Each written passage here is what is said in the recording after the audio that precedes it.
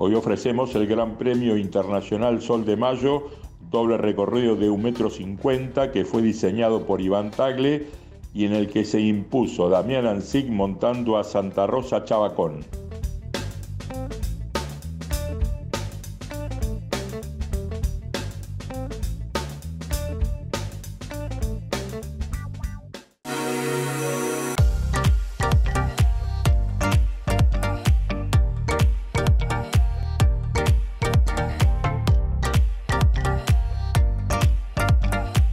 Hace 17 años tuvimos un sueño.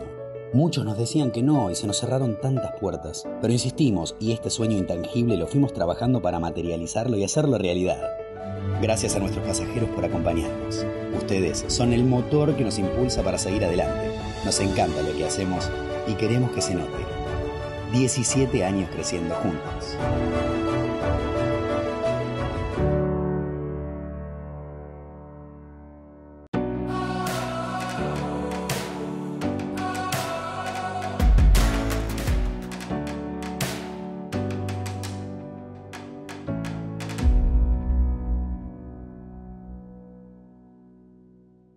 Y ahora,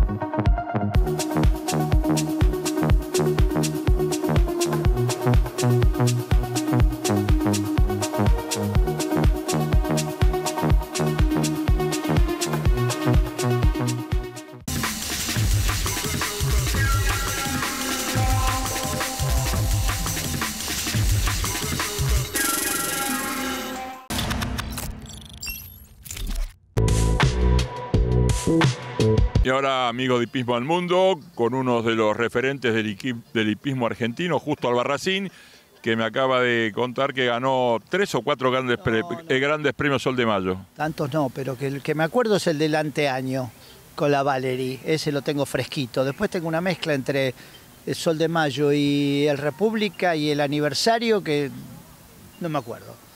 Pero sí, el del anteaño sí me lo acuerdo ese porque fue en el 22. 22. Un, un gran premio que se disputa desde el año 1990. eh, la verdad que es un clásico de la equitación argentina. ¿Cómo viste el, el recorrido, justo? No, lo estaba caminando, voy por la 10, está, está bien, está bien, esto es doble vuelta, así que la segunda pasada es la que, es la que vale. Acá hay que hacer un buen resultado para, para poder entrar a la segunda. Y bueno, eh, la pista está bastante bien aparentemente, es un día desagradable, pero, pero la pista se la ve firme. Y bueno, y el resto mm, lo veremos nosotros sobre la marcha. Y ahora, amigos de Hipismo al Mundo, con Luis Mañasco, eh, otro de los participantes del Gran Premio Internacional Sol de Mayo, que lo ganaste una vez y otra vez segundo, Lucho. Sí, la verdad, bueno, contento de poder seguir saltando.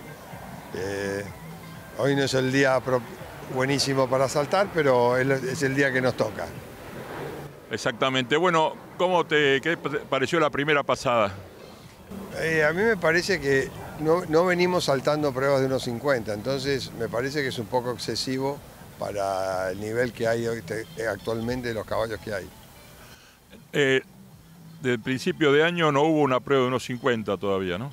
Esta es la primera prueba de unos 50 que voy a saltar yo, por ejemplo.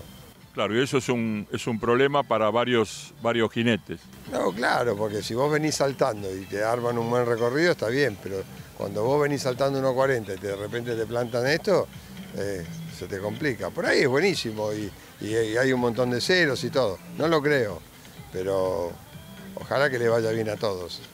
Bueno, Lucho, ¿cómo andan los caballos, las yeguas? Y la yegua es una yegua. Puede pasar cualquier cosa, o ir muy bien o, o no. Pero yo le tengo, eh, me da mucha confianza. Vamos a hacer todo lo que se pueda para tratar de hacer doble cero.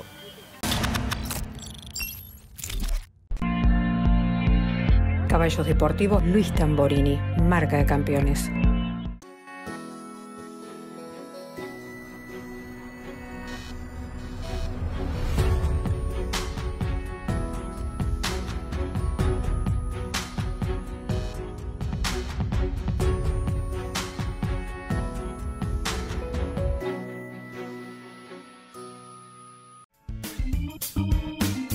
Horse Brand Company, marca internacional de monturas premium.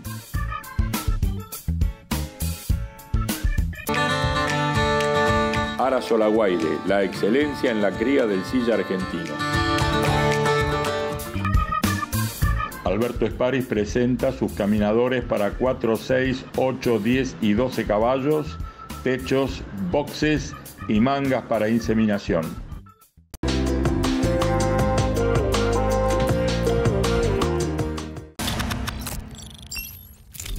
¿Qué van a ver los jinetes en este primer recorrido? Bueno, tenemos un recorrido, creo que está armónico, comienza un poco más suave y termina con el corral triple y el obstáculo 13 altura máxima, así que creo que va a ser un lindo recorrido para ver, esperamos tener entre 2 y 4 ceros, así que creo que va a ser un lindo espectáculo. 12 van al segundo recorrido, ¿y qué van a ver en, el segundo, más abierto? Siempre el segundo es más abierto, por supuesto también es unos 50, y espero que tengamos una linda pelea para, una definición acorde a este muy lindo campeonato. Emilio, ahora eh, armador y que vive en Mar del Plata, bueno, ¿qué, qué podés decir del recorrido, de, de ambos recorridos y del concurso Sol de Mayo? me parece muy linda la organización, estamos en uno de los clubes más importantes de Sudamérica, para mí es un orgullo estar al lado de Iván, es una excelente persona y un excelente diseñador y bueno, aprendiendo permanentemente de, la gente que realmente uno puede pararse al lado y sumar algo positivo. Creo que la pista está en muy lindas condiciones, los diseños están muy correctos y vamos a tener un muy lindo espectáculo. Bueno, Matías, ¿qué, ¿cómo viste la pista? Bueno, a priori cuando empezás a recorrer no parece tan grande, pero sobre el final me parece que entre el corral triple y la última las dificultades aparecen. Y además eh, Iván Tagle siempre suele armar donde las faltas se pueden ocurrir en cualquier lugar. Hay que ver el tiempo, pero yo creo que es un recorrido que va a haber muy pocos ceros. Y además tiene eso. Eh, Iván Tagle es difícil que arme para que un tapado aparezca en el podio. Yo creo que los que son candidatos a priori con la lapicera son los únicos que pueden hacer serio ganar este gran premio. Bueno, ¿cómo te fue en el Sol de Mayo? Con la Cocu, fue mi primer gran premio en el 2006. Después sé que lo gané con el Canavaro el año en la Olimpiada y después no sé si lo repetí con él o lo gané de vuelta con la Tinkerbell. No sé, o tal vez lo gané dos veces, es lo que no me acuerdo. Tengo que buscar en la lista eh, si lo gané dos o tres veces, no me acuerdo. Bueno, un clásico de la equitación argentina desde 1990 y la verdad que convoca mucha gente, mucho público y muchos participantes, ¿no?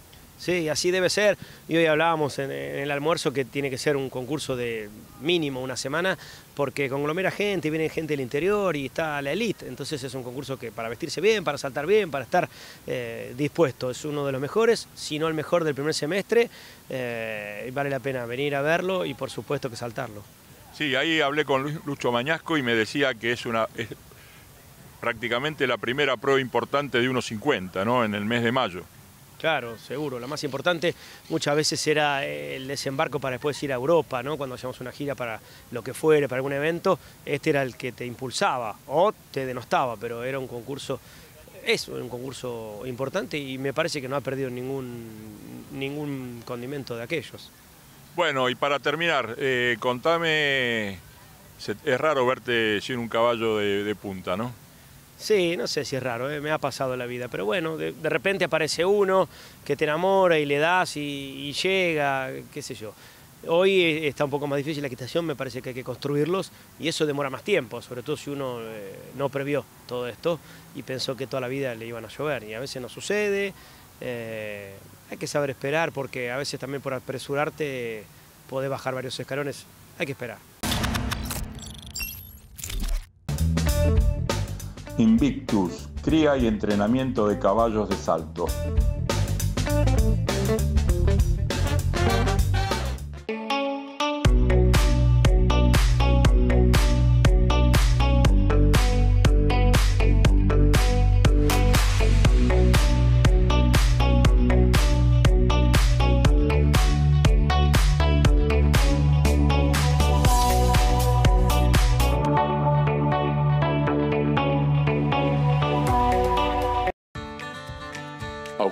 Hipismo al Mundo, establecimiento HT de Santiago del Estero. Casa Walton, artesanía en botas.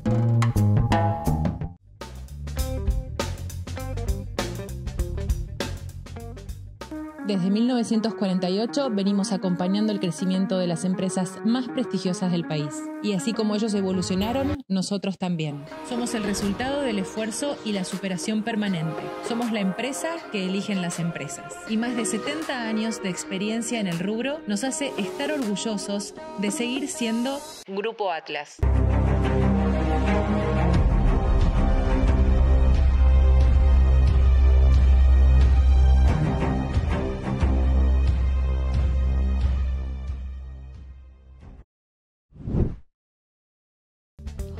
Grupo Posadas, 30 años desarrollando infraestructura industrial.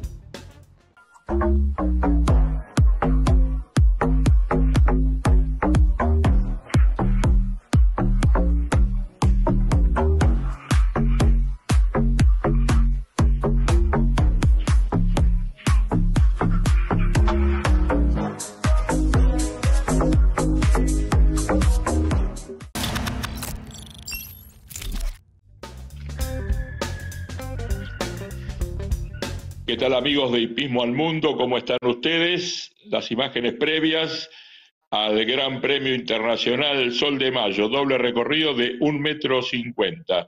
Nos va a acompañar hoy en los comentarios Joaquín Albizu, jinete mundialista, medalla de plata en los Juegos Odesur y que tiene una familia de jinetes. En la pista Vemos a Camilo montado por Lucrecia Cesaroni. ¿Qué tal, Joaquín? ¿Cómo estás? Hola, Bombi, ¿cómo andamos? ¿Todo bien?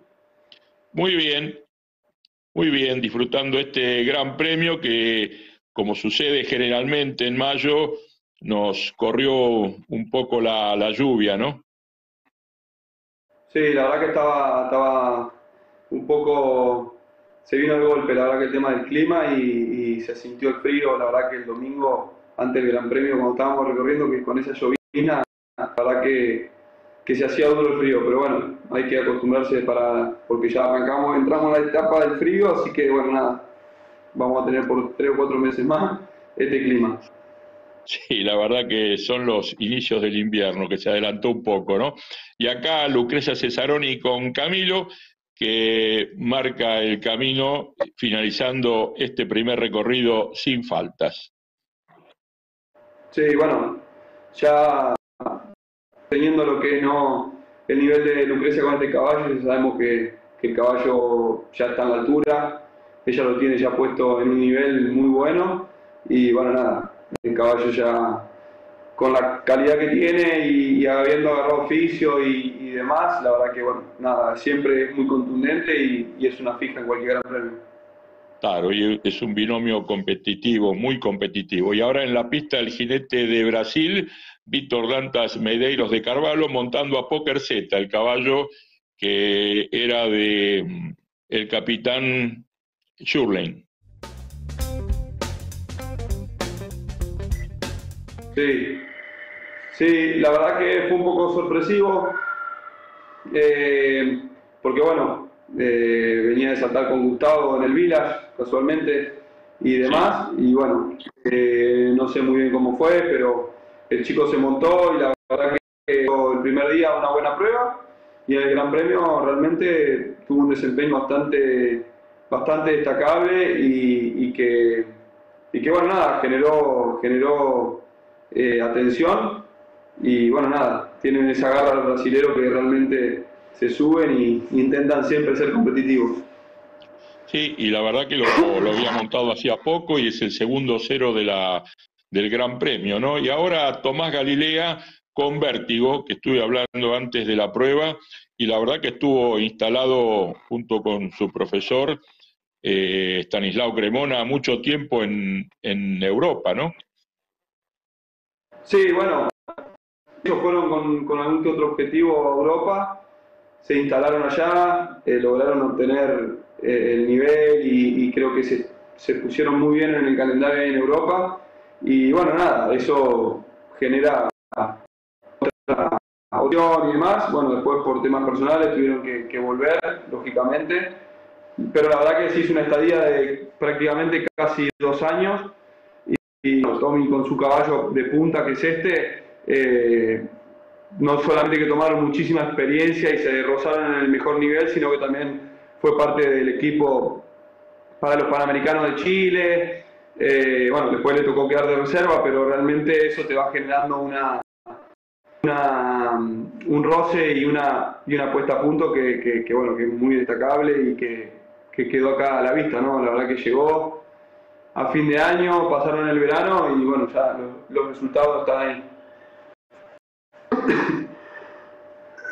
Sí, y el, el, yo creo que, el, bueno, creo, el, el nivel de Europa te va subiendo, ¿no? Sí, no, sin duda. El nivel de Europa, tanto en el ritmo de galope, en el armado, en las exigencias, en la cantidad de competidores, o sea, es muy grande la diferencia. Y, y una vez que vos ya te instalás ahí, te pones y demás, eh, es algo, o sea, al principio tenés que hacer un esfuerzo para, para poder estar dentro y realmente después cuando ya sos parte todo fluye y, y sos uno más de, de, la lista y de los concursos y de la dinámica de todos los concursos que uno tiene. Allá en Europa es muy exigente el calendario, entonces eso también permite que, que uno se ponga con una fineza en la monta, en galope, en la precisión, no te impresionan tanto los palos grandes, o sea, ya es como que estás más ayornado, entonces todo eso hace una diferencia. Claro, y mientras vemos a Damián Ansic, que fue a la postre el ganador de esta edición 2024 del Gran Premio Internacional Sol de Mayo, que había salido segundo el año pasado detrás de Leandro Bocchini con Abril y con Ton.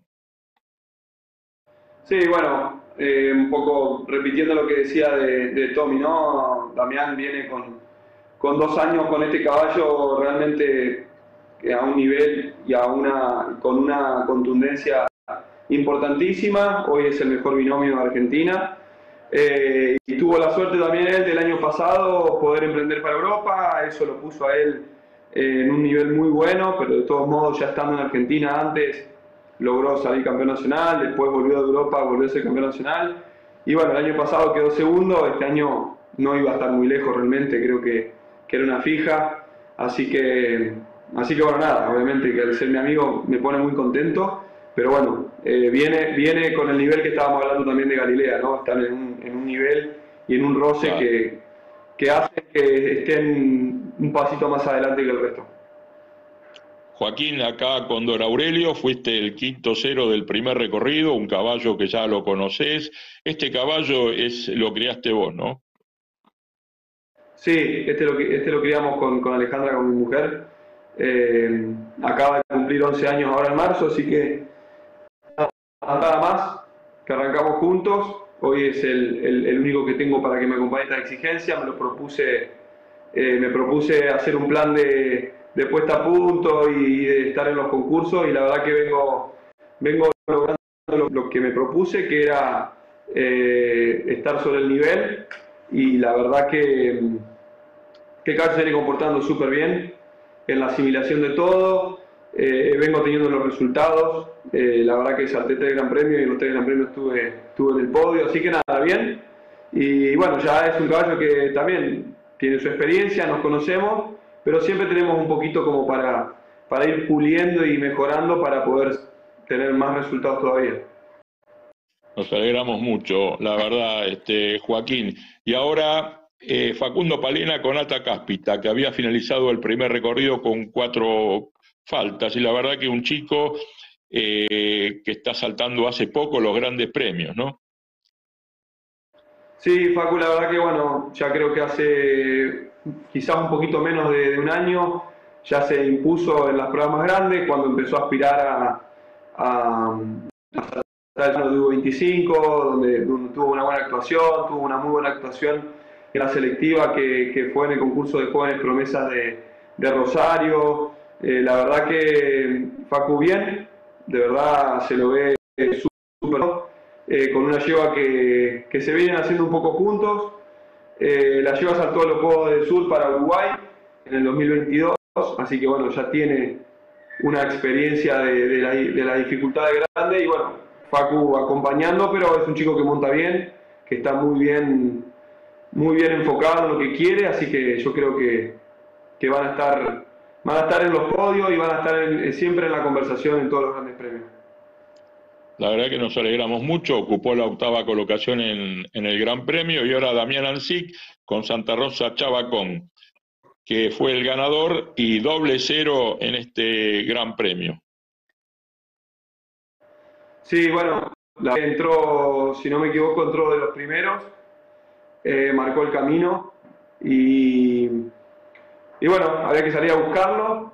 Creo que todos eh, salieron a buscarlo a su manera y con las posibilidades, con, eh, con la ventaja que puede llegar a tener el ruso de que el caballo es un caballo rápido, él es un jinete rápido, están en un momento muy sólido, entonces te anima a arriesgar un poquito.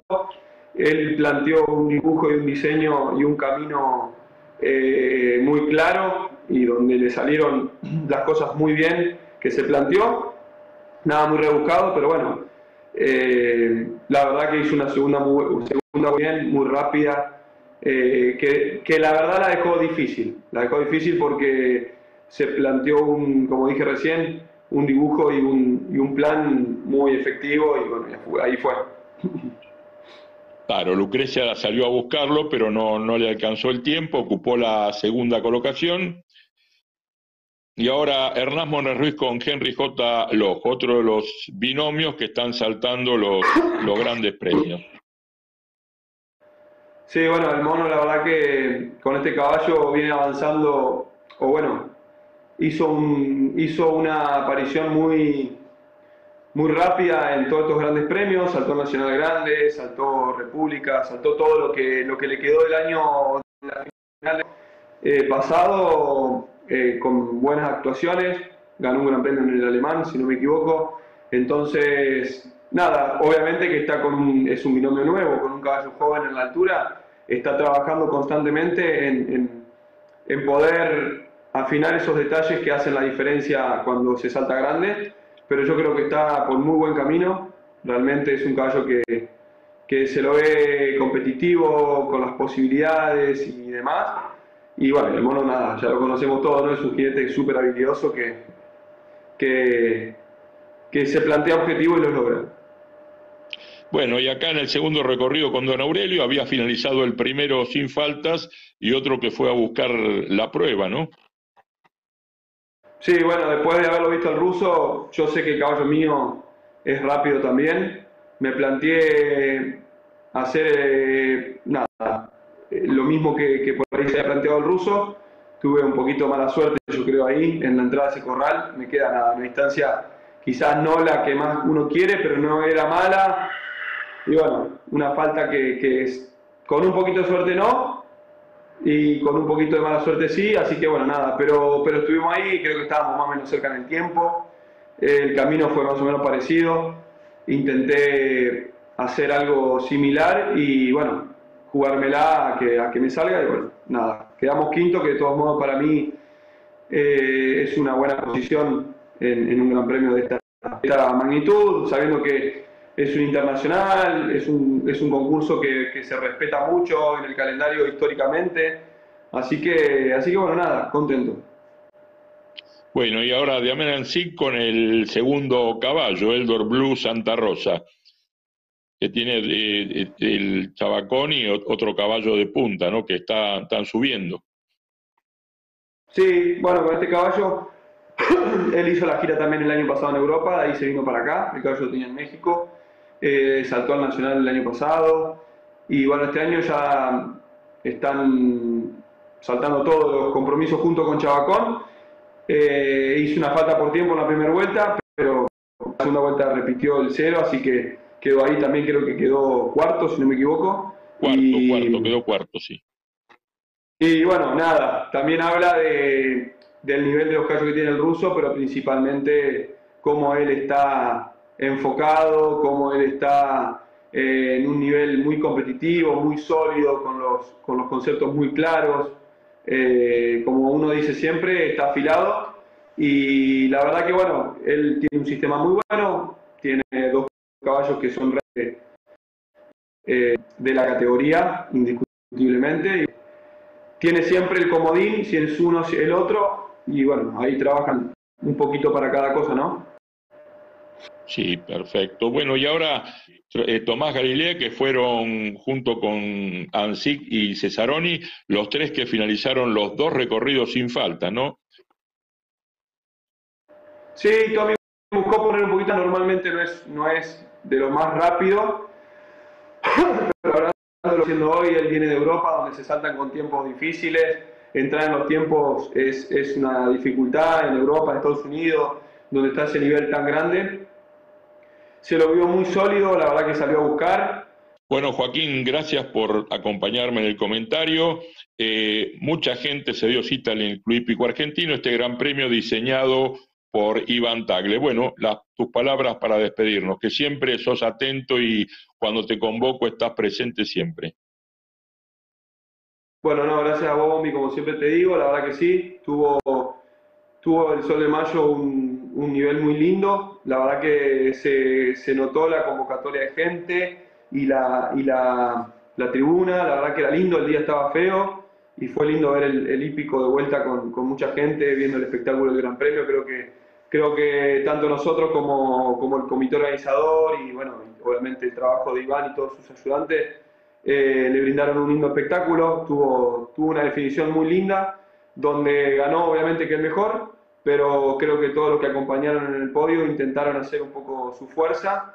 Y, y bueno, nada, creo que a la gente eso le gusta, es un poquito el folclore de la competencia, así que nada, la verdad que súper contento, te agradezco a vos también. Eh, ojalá que, que sigan con, con, con, este tipo de concursos a lo largo de este año, para los que nos quedamos acá y bueno, queremos seguir mejorando. Así que bueno, nada, a seguir trabajando e intentar estar en, en todos los concursos que más se puedan.